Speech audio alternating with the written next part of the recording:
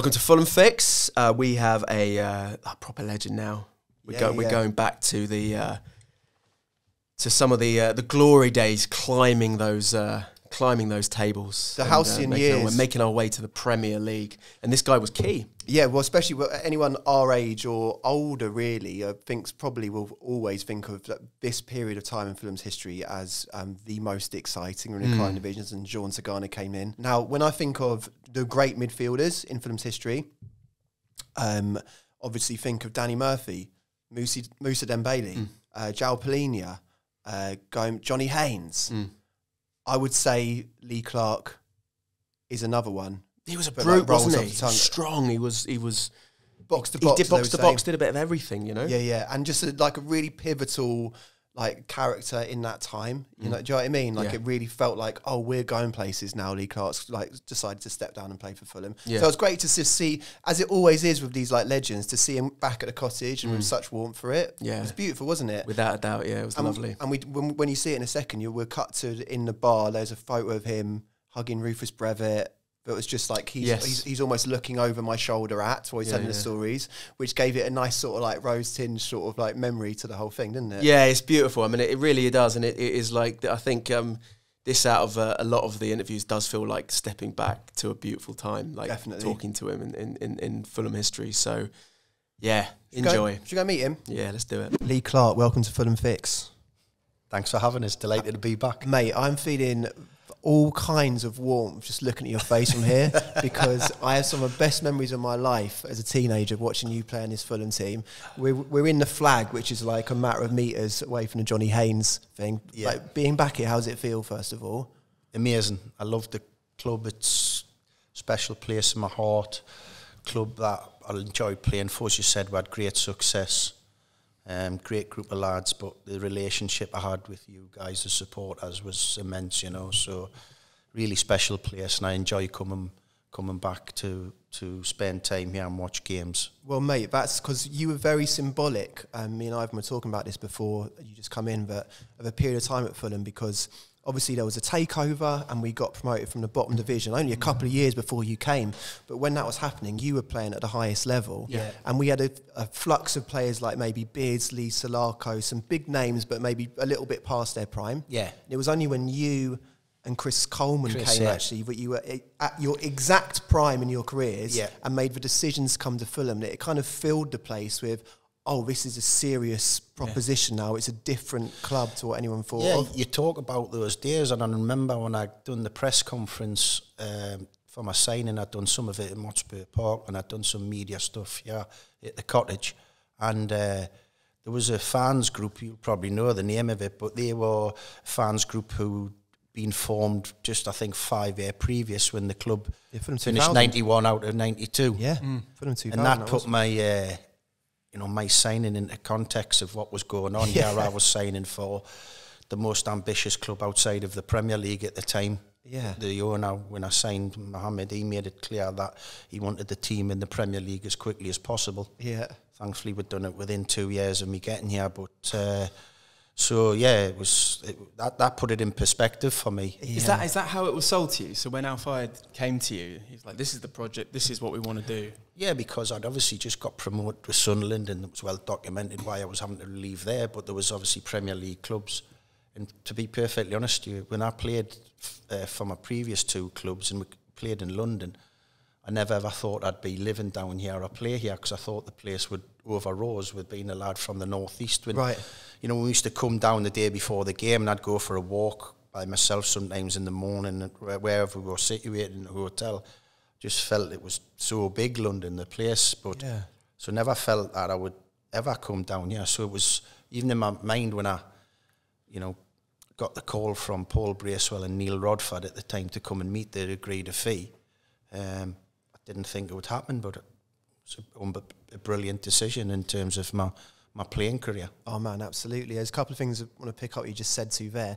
Firstly, Bracewell is an, he's an inter- interesting part of Fulham's history, Paul Bracewell, because he sort of joined the dots a little bit, where he was a big profile guy and had mm-hmm. a season that was relatively successful, but not Yeah. the lengths we went went to. But he would you have come to the club if Brace wasn't there? Was a existing relationship I between think, the he, two of w- he played a big part because obviously I'd I was the young player and he was the older player when the Newcastle team that Sure, got yeah. promoted, and then he was the assistant manager to Peter Reid at Sunderland when I went there. So Paul played a big part in my playing career. So for him to be the manager, that Yeah. made it a lot easier. Yeah, You yeah. know, this is the first time I'm coming out of the northeast, basically. So I'm coming out of that bubble. so for me to have someone like him, Yeah. we'd also just signed Andy Melville on a free. Fulham, he came on a free. so right. I'd played with Mel at uh, Sunderland the Sunderland, yeah. previous year when we won the championship. So that was a good good one as well. But then I quickly got a rapport with a lot of the lads, and especially Chris. He became a real good friend of mine, Chris Coleman. Made many good friends, to be honest, but Chris did. And then, you know, as the history books will know, he became my manager, not just my I best know, mate. right? It's just so weird you're saying good friends because I think of all those names as good friends of us Yeah, as yeah, well yeah, from watching it. They were like totally. really felt like Yeah. that. Oh, I mean, the other thing I wanted to say though is you said it's well documented what happened at Sunderland before it came to Fulham, but I don't know if a lot of Fulham fans will know that story.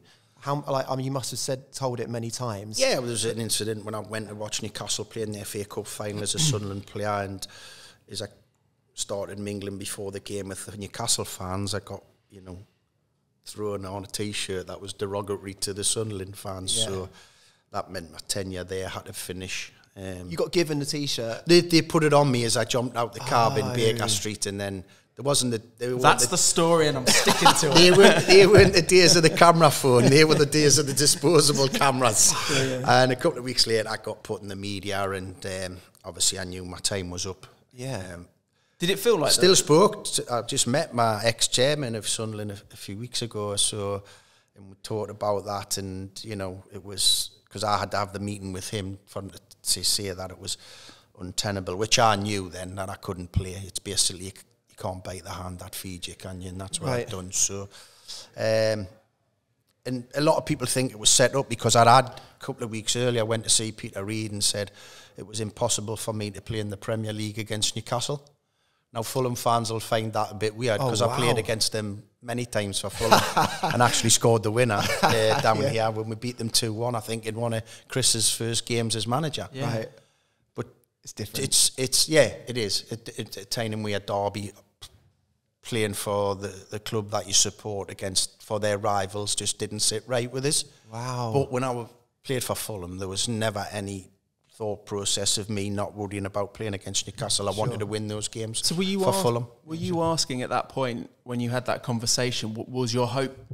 I suppose with Sunderland that they would say, okay, well, will those games you sit out? We, we won't have you. No, not at all. Um, I just asked Pete, Peter Reid, my then manager, who was a great guy, that you know to understand the situation, and he wouldn't want a player that's not committed. I mean, you can't have a player that does that, or I kind of pick him in two games because he's not prepared to give of his best. The big question marks, and I don't even know if that would have been the case because you know as Fulham fans, that was the one constant I had. No matter how well or bad I was playing, I give everything in every game. So that was um, that was that was the thing. It was we just got beat there with our two legs by Leicester City in the in the League Cup, whatever it was called in those days. It's had so many name changes. And I remember after the second leg, I'd been on live, live on, on Sky TV, and I went into Peter's office, and he was with his big friend Andy Gray, who was commentating for Sky then, and said, "You need to have a word." And now we've the, the cup's over, but we've already had the league wrapped up. You know, I need to tell you what my thoughts are. And there was a few expletives come out of Peter's mouth, as you can imagine, and just tell us to get get on with it and get cracking. So, so I think when people hear that story, they think maybe it was a setup from my side in Yeah, terms of getting that incident to happen, but it, it wasn't hundred percent. I'm, I'm honest and tell you if it, if it, that was the case, I would come out with it and say that was the story. You know, I, I love the little sliding doors moments in, in life that happen in football because mm. if that, that hadn't happened, the person hadn't put the t-shirt on you, you wouldn't have come to Fulham mm. and we wouldn't have had those years which you were completely integral to. Yeah. And it's like really interesting you saying that you felt like London was too big for you because the impression that I had when you came is that you were much bigger than the club. So your sort of the way your body language exuded across the cottage was like that you could run the show. Yeah. And I don't know whether that's because Sun and Newcastle, the grounds are a bit more all encompassing or whatever. Yeah. But did you have that feeling that like, oh, I'm actually um, of a standard that I can boss these games? Because I remember you being a really um, like modern box to box. yeah, I mean, I always had confidence that I could play at the highest level. But if I don't know if you remember this, but I felt for my first two or three months, certainly two months, uh, my form was nowhere near the levels I expected myself. I Really? was, yeah, I was really disappointed with how I started here. Um, and I But do you attribute that to anything? in just a change of club, a change of scenery, and you know, um, was it a different dropping down? Uh, no, it wasn't. division The dropping down wasn't an issue. It was, and I think the night that changed it for me was another club that I ended up working for as an assistant manager. We played Norwich City away at Carrow Road, and Paul actually played us on the right of the midfield instead of in my usual role in the centre. And I played a really good game, and that was the game for me where I turned it, and I felt that I was I'd showed the Fulham fans why you'd forked out a record fee at that time for hmm. us. So it's strange to hear you guys thinking that I, you thought I started well because I personally didn't think it, I was anywhere near my levels. Um, so yeah, I was uh, really fascinating. probably with the exception. I think we played Birmingham City in my first game, uh, which is strange as well. That, when I went on to manage them, but we um, and we we played well. I think we won three one on the the night. Um, and uh, I played well that game, but I think for a few, I felt yeah, I felt for the first couple of months I was certainly not at the levels I expected to be at. But and then after that, I started producing the form that uh, I thought I could, and I just, I think the fact when you're seeing the words, I, I, I like I was looked like I was like I could run the show. I think it was because I was enjoying my football so much. Yeah, yeah. And I enjoyed the environment and the relationship I had with the fans. So yeah, I think when when you've got all them factors, you do feel like you can push your chest out and, and be give give the best showing of, of what you're about. You yeah, know. yeah, totally. And when, when Tigana comes in, it, in my head, you become like the Avengers, that team. Louis Saha comes in. Yeah, what a Brian signing. Morte, obviously. Malbranque, you and Sean Davis in the midfield. Mm. That was the most miraculous year of football I think I've ever seen. We th- th- this guy Tigana opened our eyes because when we heard he was coming in was when Karl Heinz Riedle and Roy Evans Yeah, took over of temporary. And then we found out Jean was coming in and our holiday plans were cut short because he, he brought us back for pre-season in June, which hadn't been thought of. We were doing three sessions a day, 6 a.m., 10 a.m. and 3 p.m. And we were ridic- we thought actually that he wouldn't give any time to us. The Sorry, did you say 6 a.m.? 6 a.m. Yeah, we In to train- training? In tra- we trained. We used to go for a 5k run at 6 a.m. Ah. under Tigana, and then do a football session in the 10 o'clock session and a three a physical session Whoa. with Roger Propos, our fitness coach. We've, we've heard a lot about him. Everyone He's was bit of a- frightened of Rog. To a bit be of a fair, legend, a bit of a myth. Rog, Rog yeah, could yeah. tell if you'd put weight on just by grabbing your your cheek. so if he's seen us now, we'd be absolutely dis- be absolutely distraught. Uh, How did how did everyone take to that? That sudden. well, know, we thought that he wouldn't want the British corn. it was actually Yeah. the opposite. He loved the British lads' mentality of never giving up, Yeah. giving absolutely everything. So, likes of myself and Kit Symons, Chris Coleman, Sean Davis, you know Barry Hayles, uh, those lads, Andy Melville, um, you know the, the Steve Finnan, Yes, Rufus, Finnan. you know all these guys. Um, we, you know, he, he, what he done is he just took it to a new level because I, I considered myself to have high fitness levels in terms of the ground I covered during my career, but he just took us took us to a new and took me personally to a new level. And Really? uh, yeah, yeah, yeah, absolutely. And I remember, you know, some of the games we played, the way we used to just pop the ball, but because we were so fit, we just were relentless with it. Um, you know, I remember, I think Dave Bassett was manager at Barnsley, and obviously we were with, getting a lot of plaudits because of the football we played, and we they, he was bringing his team here, I think, and he I think he come out in the press the before and said, "Oh, they'll, they'll, they, we we've got a game plan. They'll not do this to us. They'll not do that. They'll not outrun us." Yeah. And it was nil nil to about the 80th minute, and I think we blew Barnsley away five 0 because of our fitness levels. I think we scored five goals in the last 10 minutes of normal time, and then four or five minutes of injury time because we just blew them away because their players were on their knees. They kept up with us for 80 minutes, but Yeah. they couldn't do it any longer. And it was home, it was home and away. It was relentless. It was the manager not changing his philosophy, uh, but he had us unbelievably fit. The, the jigsaw puzzle he had with his staff uh, was amazing. You know? um, because Christian uh, used to uh, do all the technical coach with, with Damiano, Jean, yeah, yeah. Christian Damiano, and put on some amazing sessions.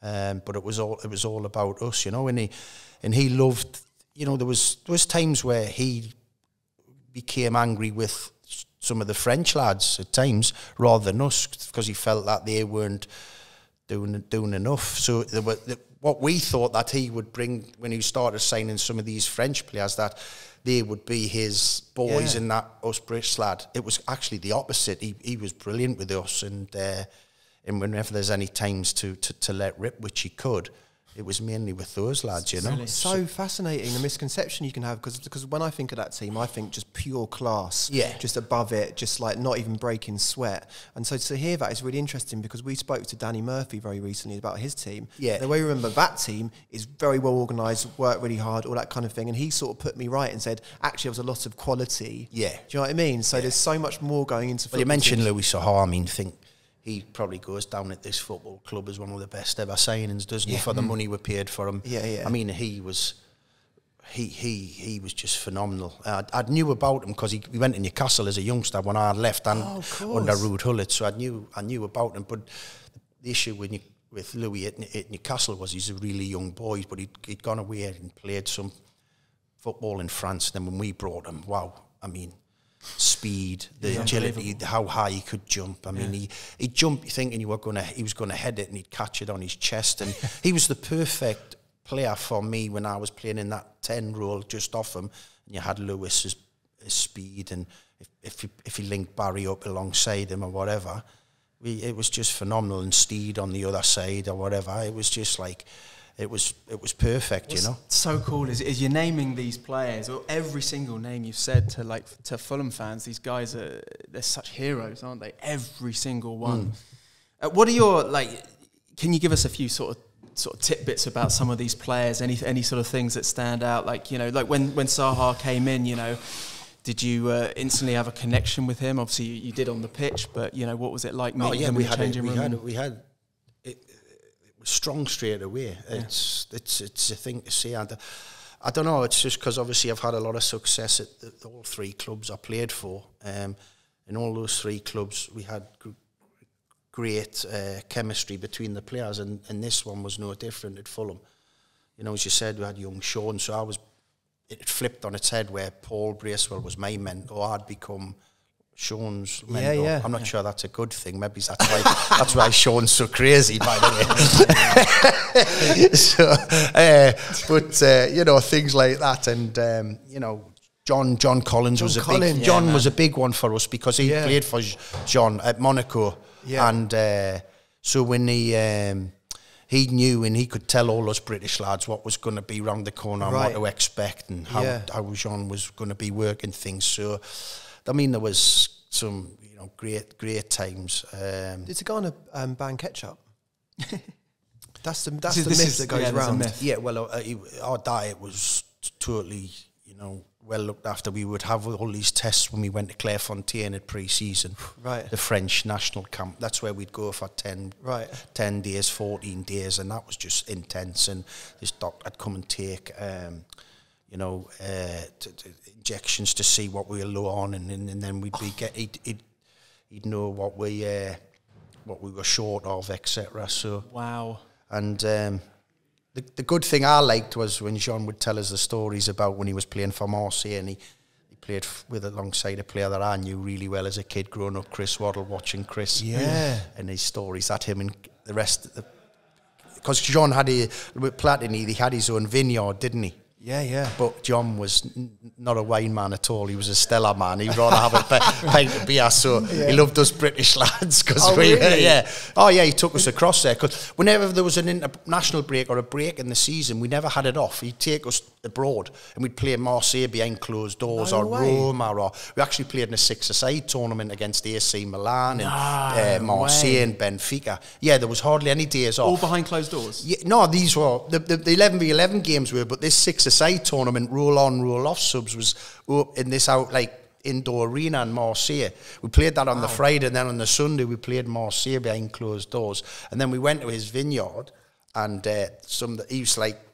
Oh, everyone have a taste of the wine, and he was like, "Nah, I drink beer," and I was like, "Yeah, I'll have one of them with you, boss, instead." so yeah, it was good, and it was like, yeah, it was. Um, it was a it was a great period. I just, just as you say, there's so many things to talk about. You know, there's still something, you know, you click in your mind and you think about certain players from that time. You know, course, yeah. absolutely brilliant. Do you, So do you think it's weird that Tigana never did more in management? Because it, it, it seemed assumed at the time that he was going to be a big name for years to come. yeah, I mean, he, he- he went over to Turkey and stuff like Is that that, didn't happened? he? Yeah. I got the impression he was he was always wanting to be the French national team manager. Yeah.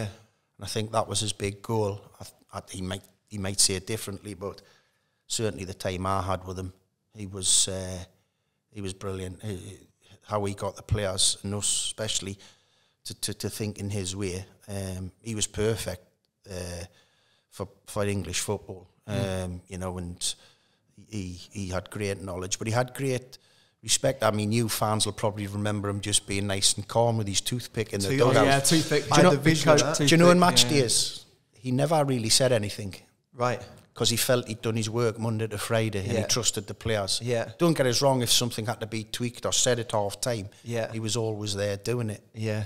So Um, pre-game, before kickoff, no, there wasn't anything. chilled. Everyone just knew what they chilled atmosphere. Really? Yeah, absolutely chilled. It was, you know, and that was not. That's not me saying that was wrong. I th- he felt, and he, he we had we'd done so much work on the Monday to Friday leading up to the game. He was like, "My job's done. I'm trusting you now."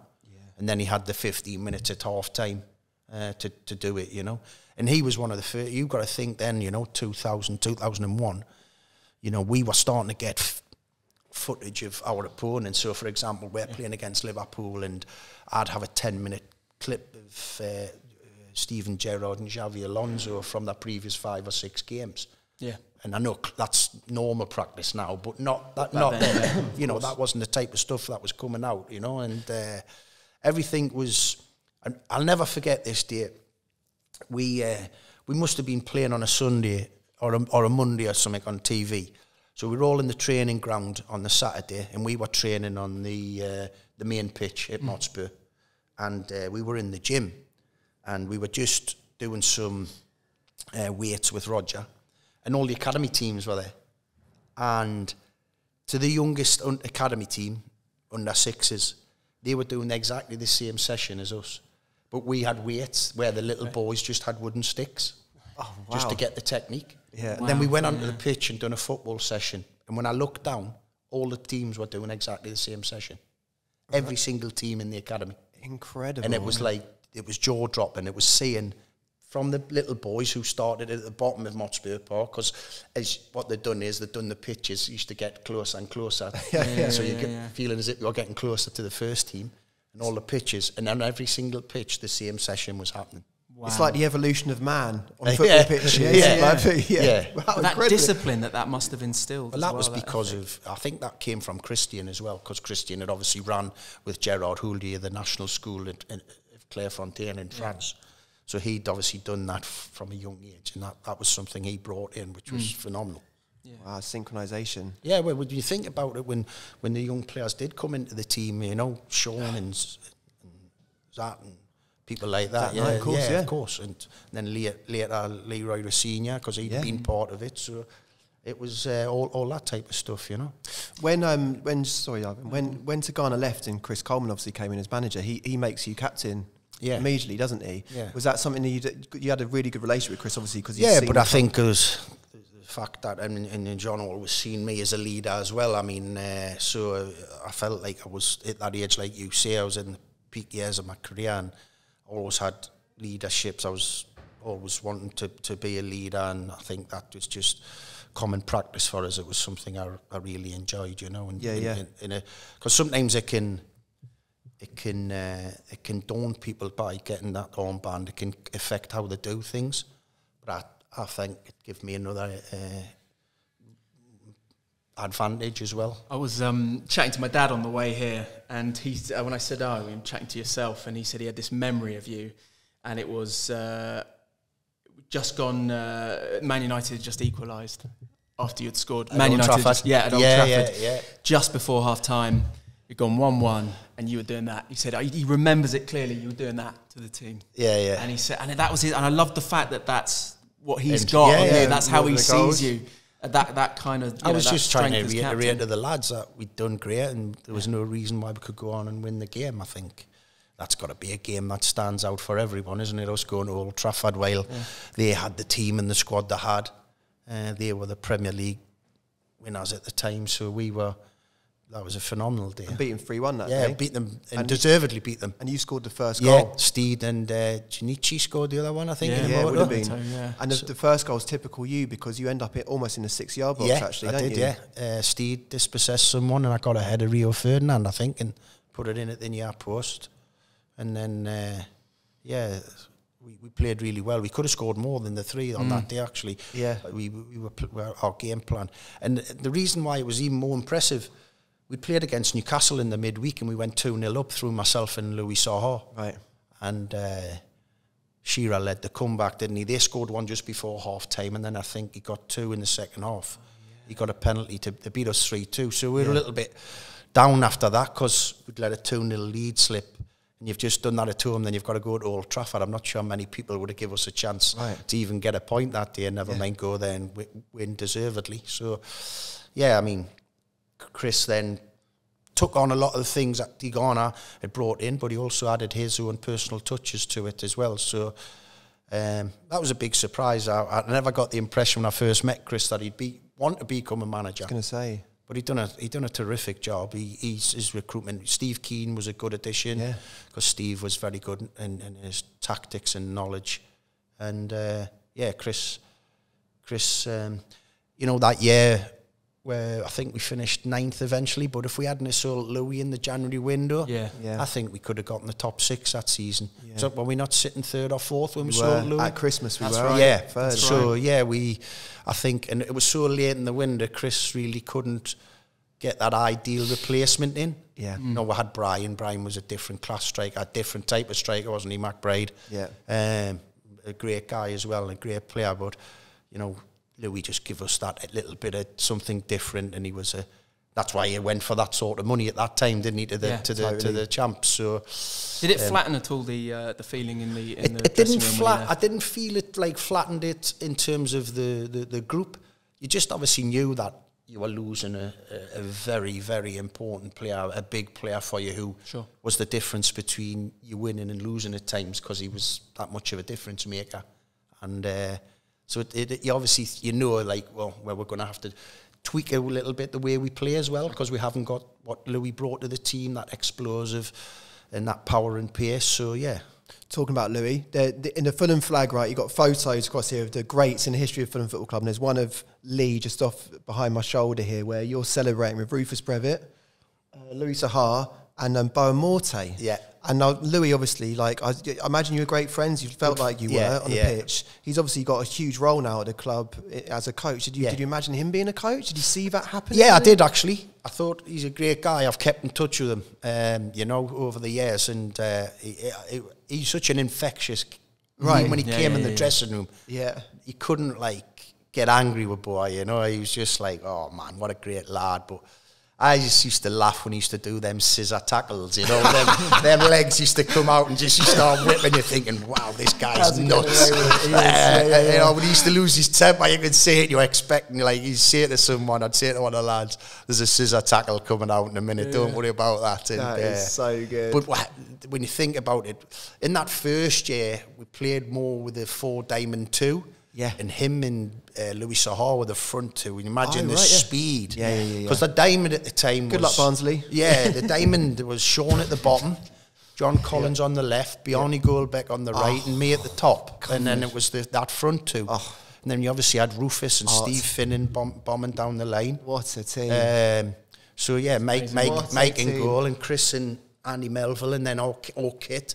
So the yeah. speed those two had, it was like sometimes these people say, oh, you some of the goals you made, but it's like, I just felt because I, I was a good passer of the ball, like, these two players with their speed made it quite simple. Yeah, yeah. And then you're just like, aye. In terms great. of like your playing career, would you say that season or any season for them would be up there with some? Obviously, obviously at Newcastle, you had some great years oh, in the early years. Shadow of a doubt. I think over a long, football. I think over a long period of time, if you're talking longevity, it'd be difficult to say that this wasn't my best time. Yeah, without yeah. a doubt. Um, played played in some great games. Um, you know, played in with great players, great teams. Um, yeah, this the, yeah the the club's massive to me. It's it, it, everyone knows how important Newcastle United is to us. I'm born and bred. That was my team, and I'll always support them. But Fulham ran them very, very close. Yeah. You know, and we'll always do that.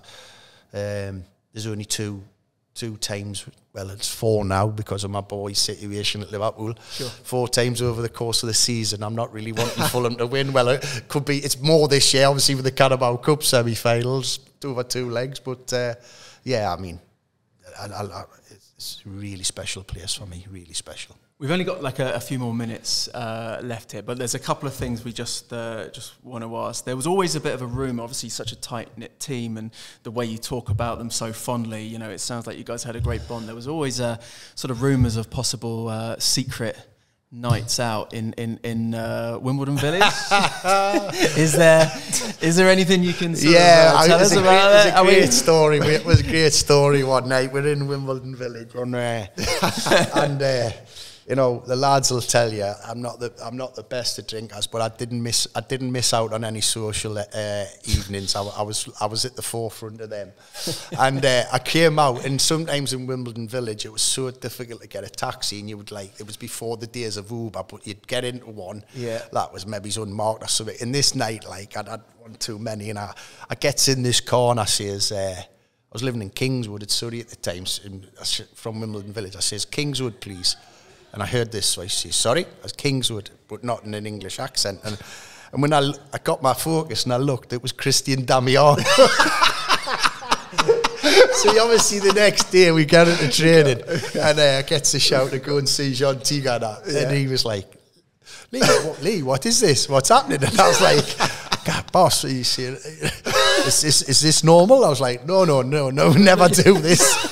and I was telling the lads, they were like, hey, that absolutely gutted because I'd like broken the secret code or two just laughing their heads off at what had happened. So I think John then realised that, um, hey, listen, these lads work and play so hard Sure. uh, for the team. Yeah. You know, if they do it at the right time, it's not an issue. But uh, it wasn't something he, he you know, he, keep, he kept pushing. So yeah, there, there, there was a group of us that would uh, still kept kept that on, but we didn't do it regularly, as you can, you, imagine. Can you, name a few players that joined Ah, I'm you not going to. If the other, la- if the other lads want to speak up, up about themselves, they can. But I won't can be throwing them under the bus. But I can imagine you, you'd probably be, be able to name the six or seven that Yeah, were there. still- you know, sure, so sure, yeah, sure, sure. this day. yeah. So uh, brilliant, brilliant. Lee, before you go, um, if you are centre midfield in an all-time greatest Fulham team, who would be your fantasy centre mil- centre midfield partner Yeah. out of the following? All right. Mousa Dembele, Oh dear me! Yeah, Sean Davis, realistic that one. Wow, wow. Danny Uh, Murphy. Danny Murphy, Yeah. We'll throw Scott Parker in. Scott Parker, or Johnny Haynes. Well, I did team up with Scott. I played with Scott at Newcastle. Right. So I had the, uh, I was lucky enough to, to, to play that one.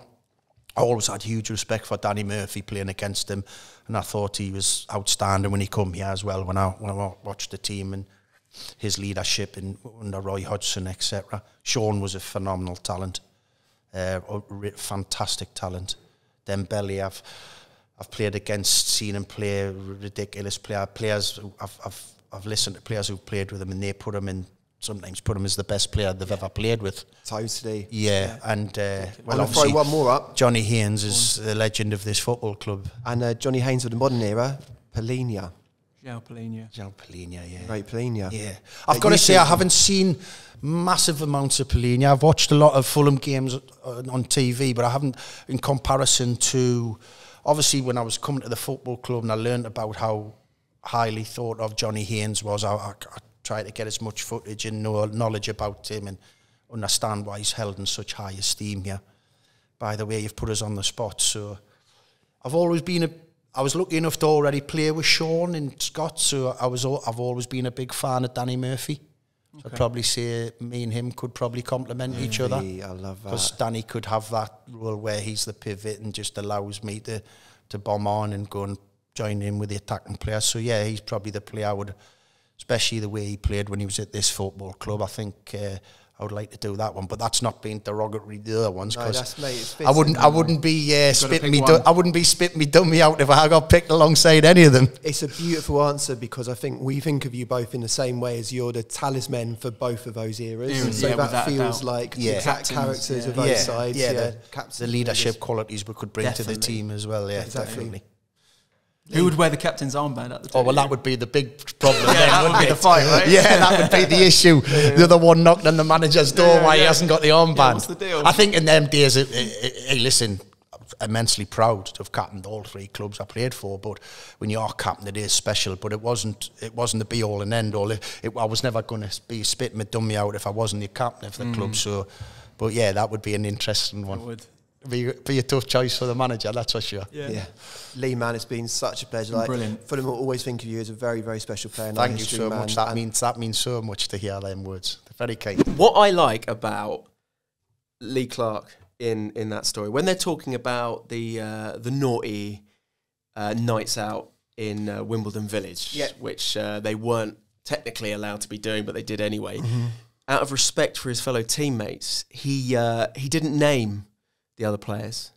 Uh, Yeah, that, yeah. that were on the nights out with him, out, of, Yeah. out of total respect. On the flip side, we interviewed uh, uh, the one and only Chris Coleman. Uh, Great. Chris, great. and that's coming up in a few weeks, um, who also relayed the story, Yeah. but didn't have the same sort of respect for his fellow teammates and uh, gave us the names, which uh, I quite like. I think it's worth also saying as well, if you're enjoying the podcast, please, wherever you get your podcast from, remember to subscribe. And if you feel up for it, why not leave us a review? That'd be lovely. You'll find uh, in our history, in our recent history, uh, some amazing interviews. If you just stumbled across us, Berbatov, two part with Danny, Danny Murphy, That's great. um, Steve Palhinha, Sidwell, Sid. Palhinha, oh, Willian. It doesn't end. Legrinsky. So if you're a Fulham fan, there is like a lot of depth and detail that we go into with Yeah. true greats of the club.